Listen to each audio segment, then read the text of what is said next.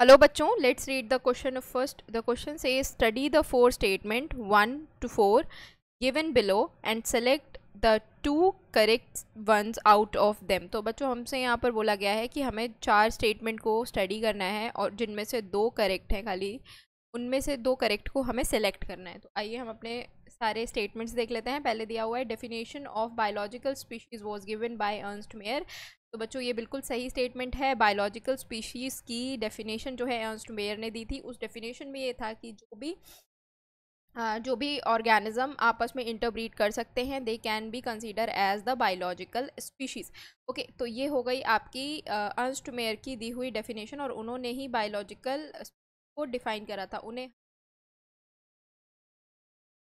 Darwin of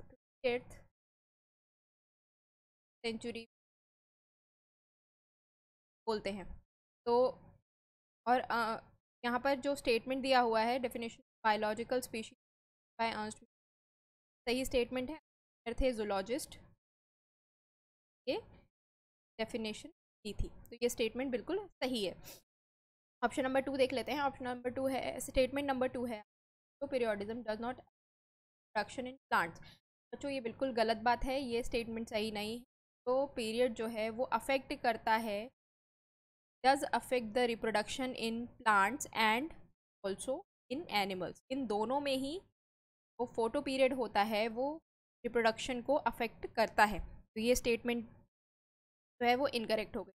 third देख लेते हैं binomial nomen system was given by R H Whittaker तो बच्चों आर एच वेटिकर ने फाइव किंगडम ऑफ़ क्लासिफिकेशन दिया था और जो बायोनॉमियल नॉमन सिस्टम दिया था, वो दिया था कार्ल्स लेनियस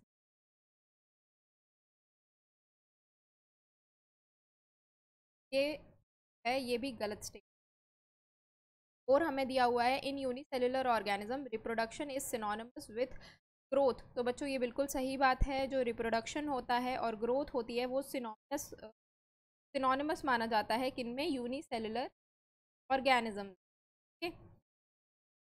हमारे कितने स्टेटमेंट सही हैं? हमारा स्टेटमेंट वन भी सही है एंड फोर सही है। हमें ऑप्शन में क्या क्या दिया है? ऑप्शन में दिया हुआ है हमें टू एंड थ्री गलत पेयर है थ्री एंड फोर गलत पेयर है, गलत पेयर हमारा करेक्ट आंसर जो रहेगा ऑप्शन वन एंड वो करेक्ट है.